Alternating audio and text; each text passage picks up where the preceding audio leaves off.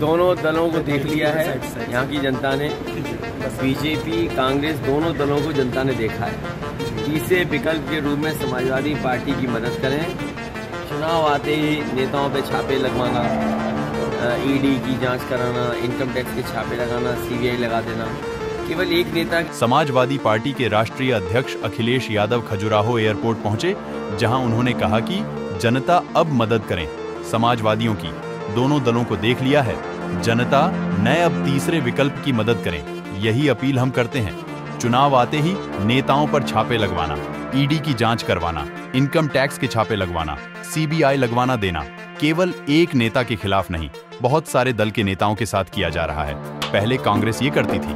कांग्रेस चली गई अब बीजेपी कर रही है। दोनों दलों को देख लिया है यहाँ की जनता ने। बीजेपी कांग्रेस दोनों दलों को जनता ने देखा है। तीसरे विकल्प के रूप में समाजवादी पार्टी की मदद करें यही अपील हम करते रहे। अखिलेश जी अभी बी डी शर्मा जी बोल रहे हैं कि अगर जो नंबर है ना वो केजरीवाल जय जाएँगे साफ़ घोटाले में। क्या कहेंगे इस पर चुनाव आते ही नेताओं पे छापे लगवाना ईडी की जाँच कराना इनकम टैक्स के छापे लगाना सीबीआई लगा देना केवल एक नेता के खिलाफ नहीं बहुत सारे दल के नेताओं के खिलाफ किया जा रहा है। और पहले कांग्रेस ये करती थी। कांग्रेस चली गई। बीजेपी कर रही बीजेपी भी चली जाएगी। सर शिक्षा पर आप क्या कहेंगे? Sir ji sir ji sir sir sir शिक्षा पर आप क्या कहेंगे? सर शिक्षा पर कोई सवाल नहीं कर रहा। हाँ, चरम सीमा पर महँगाई है जी। और चरम सीमा बेरोजगारी है।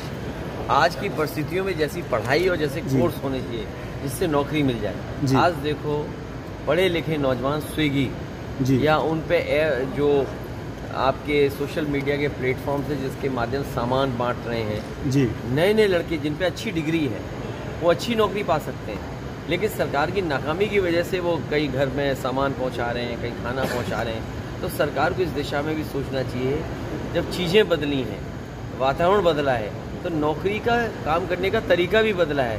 तो सरकार को उन लोगों को भी नौकरी देनी चाहिए जो पढ़ा लिखा नौजवान है। सर पत्र जी कनेक्टिविटी के क्या कहेंगे? यूपी से खा जाओ बनारस भी आता है आपका कनेक्टिविटी नहीं है पर्यटक नहीं पहुँच पाता यहाँ पर।